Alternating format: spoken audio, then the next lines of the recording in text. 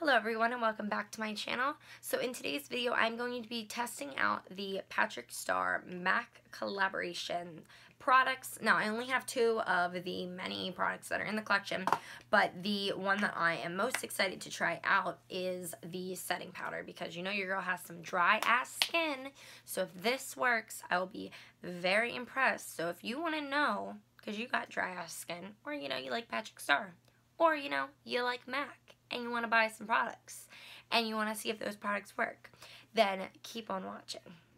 So first things first, I'm going to show you guys exactly what I did get from MAC. Now, um, Gage's mom bought me these two things as a Christmas gift, so I was going to go buy more of the products, but I want to try these out first. I'm sure that I will like the lipstick, but I just wanted to see first before I went and bought anything else. So for now, I just have the setting powder, and I did get, like I said, one of the lipsticks, and I got Patrick Wu.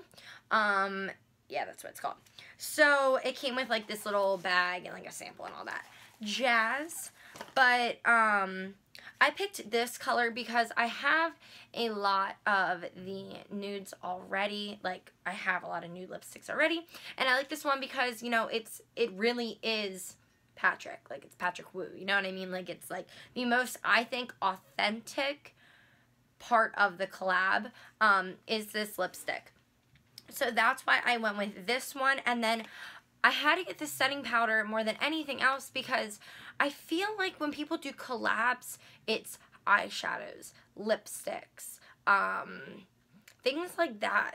You know what I mean? It's a lot of like the, I don't want to say basics, but people don't go and make a setting powder and like, this is my collab with this brand, like this huge brand.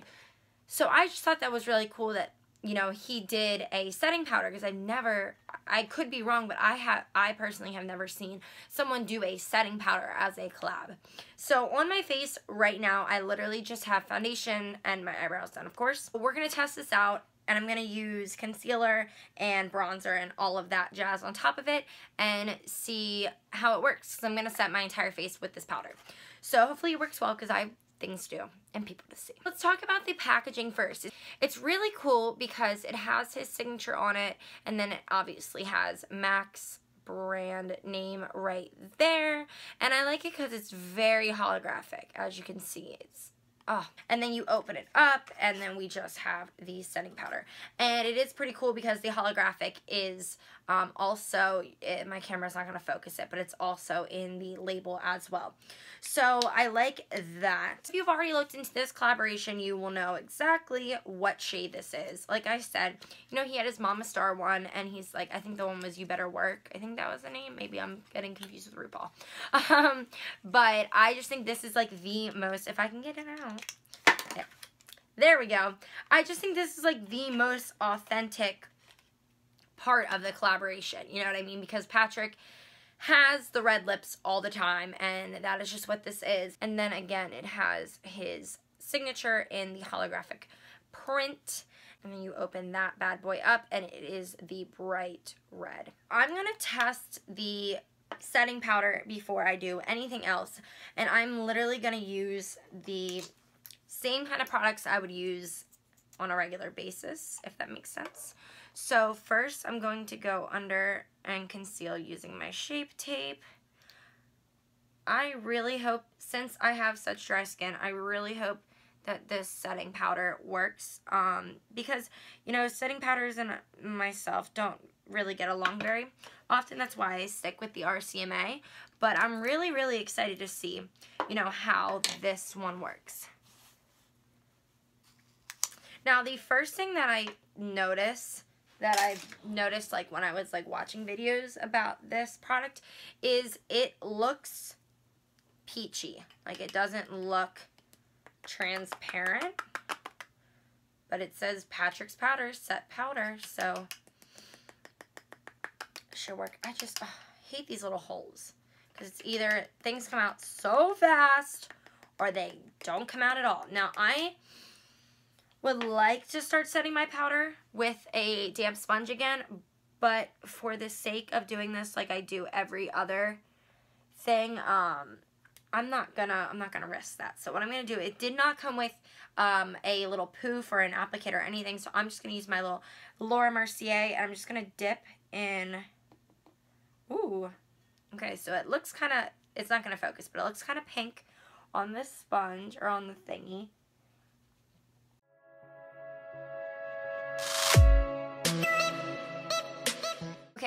So what I'm noticing is my skin in here looks so airbrushed. I'm gonna have to touch this area up. That I didn't even set. I just don't know what the fuck's going on there.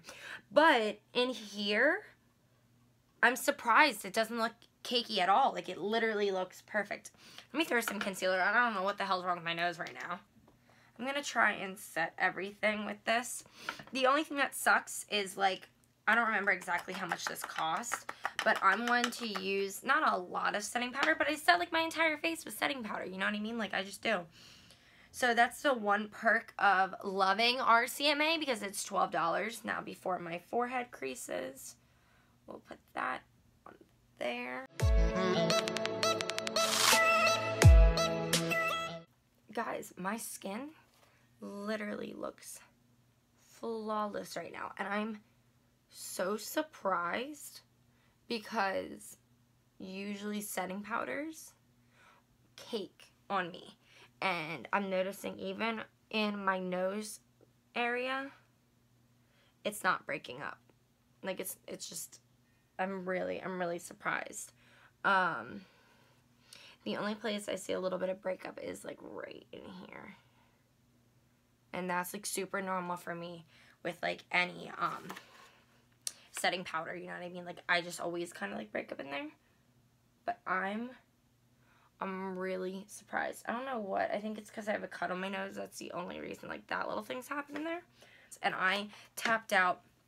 This was never full, but there was, like, oh, a decent amount, and I tapped it in there twice. And I literally set my entire face. I usually, just with translucent powder, will set my forehead, under eyes, nose, and my chin and like smile line area, but instead I set my entire face with that. And that wasn't a ton of powder that I used compared to like the RCMA. And I set my entire face and I look flawless, which I'm so surprised. I'm so, I'm so surprised about that. So the next thing I'm going to try is obviously the lipstick. Mm, should I line my lips? Uh, no. We're to just do it. We're to just do it. If it goes bad, we'll try and work it out.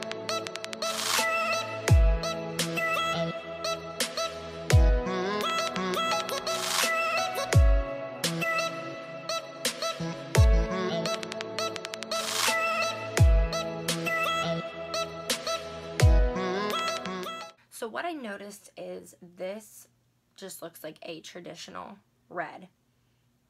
Um, I should have lined my lips if I wanted it to be neater because that was a lot harder to do. Um, like if, if this didn't have the slant to it, which eventually if I'm using it a lot, it won't, then I'm going to need to start lining. But for now, like it worked it just looks a little soft because I didn't line because it's such a bright color.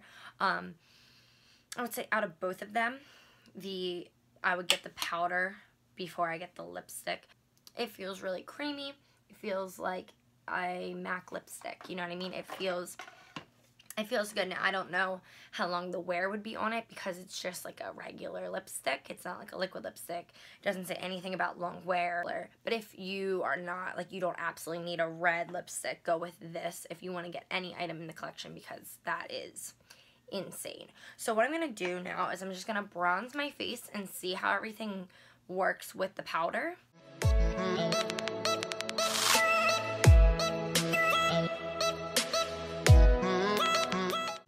Alright, so my final thoughts on both of these products, like I said before, this is definitely amazing. Like, this worked so well, and I'm so surprised because of how dry my skin is, how well this actually worked for me because like I said before, setting powders and I do not get along. Like when I find a good one, I stick to a good one. And this, I'm so, so surprised how well my skin looks. So this a plus. Um, now with the lipstick, like I said before, if you just want to get one item to kind of have a piece of the collection in your makeup collection, this out of all the lipsticks I would go with. Um, which is exactly why I got it because I feel like this is the most Patrick signature item. But if you want a unique part of the collection, go with the setting powder. And if you have tried any of the other items in the collection, like the other lipsticks, lip liners, or the eyeshadows, and you like them, let me know what you think down below because I'm not, I used to buy a lot of MAC eyeshadows and I realized they're not my favorite formula. So if they work for you and you've tried them, like from this collection, let me know. I would love to hear what you guys think of them. So if you like this video, please give it a thumbs up, leave a comment down below. Don't forget to subscribe as well, and I will see you all in my next video. Bye, guys.